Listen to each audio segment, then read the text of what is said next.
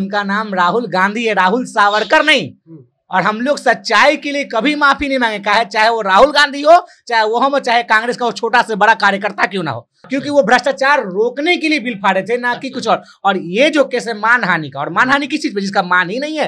राहुल जी क्या गलत बोले? क्या ललित मोदी पैसा लेकर नहीं भागा? क्या नीरव मोदी पैसा लेकर नहीं भाग भागा? क्या विजय मोदी पैसा लेकर नहीं भागा? क्या गुजराती गुजराती बिजनेसमैन जो लोग हैं, वो पैसा लेकर नहीं भागे? मोदी जी को बताना पड़ेगा कि वो बीस करोड़ किसके थे, जो अंडानी के बिज़नेस में लगाए गए, वो बीस करोड़ किसके थे? कांग्रेस पार्टी अपनी ही सरकार में लालू जी को रेल मंत्री बनाया था। कांग्रेस पार्टी के सहयोग से और कांग्रेस पार्टी के समर्थन से लालू जी बिहार में कई बार मुख्यमंत्री बने और उनके बेटा आज बिहार के उप मुख्यमंत्री बने हुए। इसलिए अब कह रहे हैं कि लालू जी को हम रोकने का प्रयास किया वैसा- बात नहीं है। तो उन्नीस सौ अठहत्तर में श्रीमती इंदिरा गांधी के साथ भी ऐसा हुआ। उस समय की जनता दल की सरकार ने इंदिरा गांधी जी की सदस्यता बर्खास्त कर दी गई। लेकिन क्या हुआ? जनता दल की सरकार औंधे मुँह गिरी और 1980 में इंदिरा जी प्रचंड बहुमत से मुख्य प्रधानमंत्री बनने जा रहे हैं। उसी तरह चुनाव आने दीजिए भाई। हर जज आपका गुलाम नहीं होगा। हर जज को राज्यसभा जाने की लालसा नहीं है। हर जज हर जज को किसी मंत्रालय बैठने का लालसा नहीं है। कोई ऐसा ईमानदार है? हम लोग इस केस को लेकर सुप्रीम कोर्ट और भी और भी जगह उचित सदन है जहाँ जहाँ इसकी सुनवाई संभव है। हम लोग वहाँ जाएँगे। थोड़ा कांग्रेस के पूर्व राष्ट्रीय अध्यक्ष राहुल गांधी की सदस्यता चली गई है। उन पर दो साल की उनकी सजा हुई है। और उनको जमानत भी मिल गई है। ये इस पर जो है विपक्ष काफ़ी हमलावर है और विपक्ष लगातार ये आरोप लगा रहा है सरकार पर, केंद्र सरकार पर कि केंद्र सरकार जो है संविधान का दुरुपयोग कर रही है और भी कई तरह की बातें चल रही है। इन सभी मसलों पर बात करेंगे। हमारे साथ में कांग्रेस के युवा नेता है, बिहार के साथ में पटना महानगर के प्रवक्ता भी है। काहे आप लोग हल्ला कर रहे हैं? जब देश मज़बूत हाथों में है तो हल्ला क्यों? देश मज़बूत हाथों में होता तो हल्ला नहीं होता लेकिन ये पता चला कि देश साफा साफ़ दे मज़बूत हाथों में नहीं है।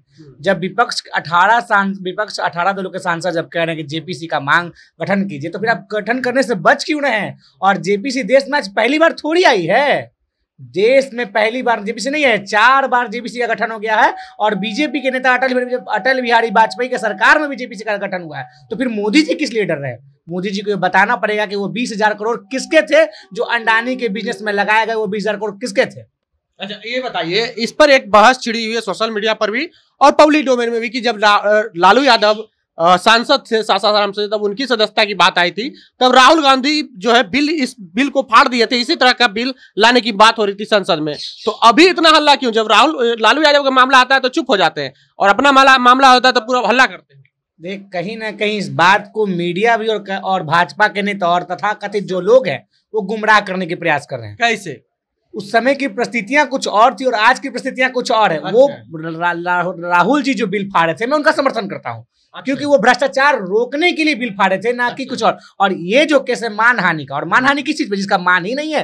राहुल जी क्या गलत बोले? क्या ललित मोदी पैसा लेकर नहीं भागा? क्या नीरव मोदी पैसा लेकर नहीं भागा क्या विजय मोदी पैसा लेकर नहीं भागा? क्या गुजराती गुजराती बिजनेसमैन जो लोग हैं वो पैसा लेकर नहीं भागे?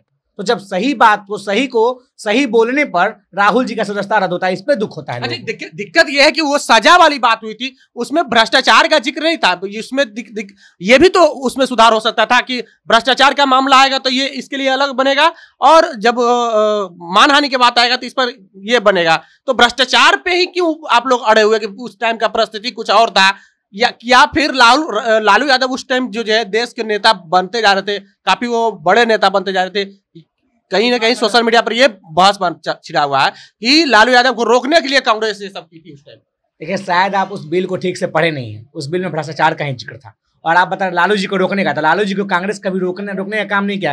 कांग्रेस पार्टी अपनी ही सरकार में लालू जी को रेल मंत्री बनाया था। कांग्रेस पार्टी के सहयोग से और कांग्रेस पार्टी के समर्थन से लालू जी बिहार में कई बार मुख्यमंत्री बने और उनके बेटा आज बिहार के उप मुख्यमंत्री बने हुए। इसलिए आप कह रहे हैं कि लालू जी को हम रोकने का प्रयास किया, वैसा- बात नहीं है और उस समय बिल आप ठीक से जाकर पढ़िए, उसमें भ्रष्टाचार लिखा होता है, इसलिए हम आज भी भ्रष्टाचार बोल रहे हैं। अब क्या कीजिएगा? अब तो उपाय नहीं है 2024 में भी उपाय नहीं है। अब 25 तो विधानसभा कई राज्यों में अब हो सकता है तब 29 में कुछ मामला सेट हो सकता है। देखिए सांच को आँच नहीं। आप बोल रहे हैं ये माम- अब आप कुछ उपाय ही नहीं है। तो 1978 में श्रीमती इंदिरा गांधी के साथ भी ऐसा हुआ। उस समय की जनता दल की सरकार ने इंदिरा गांधी जी की सदस्यता बर्खास्त कर दी गई। लेकिन क्या हुआ?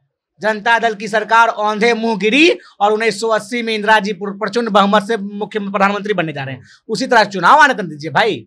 चुनाव आने दीजिए और तो हम आगामी सत्ताईस तारीख को कांग्रेस बता देगी कि हम कहाँ थे और आपको कहाँ ले जाने का प्रयास। चुनाव आ रहे है, पर चुनाव लड़े लड़ेंगे नहीं ना आपके नेता। अरे, कुछ दिन भी इंतज़ार तो कीजिए। जैसे आनंद फानन में आप अपने अपने अपने अनुसार कोर्ट को चला रहे हैं, हर जज आपका गुलाम नहीं होगा। हर जज को राज्यसभा जाने की ललसा नहीं है। हर जज हर जज को किसी मंत्रालय बैठने का ललसा नहीं है। कोई ऐसा ईमानदार है? हम लोग इस केस को लेकर सुप्रीम कोर्ट और भी और भी जगह उचित सदन है जहाँ जहाँ इसकी सुनवाई संभव है। हम लोग वहाँ जाएँगे। थोड़ा इंतज़ार कीजिए। कांग्रेस पार्टी इस पर अपना स्टैंड क्लियर करेगी। कई लोग ये कह रहे हैं कि राहुल गांधी को माफ़ी मांग लेना चाहिए था क्योंकि जब तक आपकी चुनाव नहीं लड़ पाएँगे सदस्यता नहीं रह पाएगी तो आप लोग क्या कीजिएगा ने, नेता बन के? राहुल गांधी पहले ही कह दिए कि उनका नाम राहुल गांधी है। राहुल सावरकर नहीं। और हम लोग सच्चाई के लिए कभी माफ़ी नहीं मांगे। कहे, चाहे वो राहुल गांधी हो, चाहे वो हम चाहे कांग्रेस का वो छोटा से बड़ा कार्यकर्ता क्यों ना हो। ये माफ़ी मांगना सावरकर का काम है। जिसने अंग्रेज़ों की गुलामी खटना स्वीकार किया, लेकिन माफ़, जिसने अंग्रेज़ों की गुलामी खटना स्वीकार किया और माफ़ी मांगना स्वीकार किया, लेकिन हम लोग राहुल गांधी है। हम लोग गांधी के बन है। माफ़ी कभी ही नहीं मांग सकते। और सच के लिए तो माफ़ी एकदम नहीं। चलिए तो सच के लिए माफ़ी नहीं मांगेंगे और राहुल गांधी की सदस्यता चली गई है। इस पर आने वाले कल जो होने वाला है चुनाव 2024 में उस पर क्या आ, असर पड़ेगी वो तो आने वाला वक्त ही बताएगा। बहरहाल आपको हमारे बातचीत कैसा लगा? ये विशाल यादव थे कांग्रेस के युवा नेता हैं और पटना महानगर के प्रवक्ता हैं। प्रतिक्रिया कमेंट कमेंट बॉक्स में ज़रूर दे बने रहे जनता जंक्शन के साथ। बहुत बहुत धन्यवाद।